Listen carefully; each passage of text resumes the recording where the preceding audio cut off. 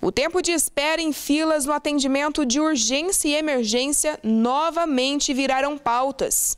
Desta vez, foram duas resoluções do Conselho Federal de Medicina, CFM, que deram início ao debate. O motivo é que agora o tempo máximo de espera em filas nos pronto atendimentos de urgência e emergência não poderão ultrapassar duas horas.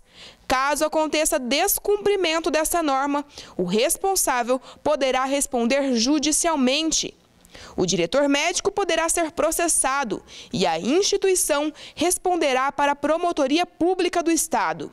Os conselhos regionais são os responsáveis por fiscalizar o cumprimento das normas e, caso perceba que não está sendo executada, deverá denunciar.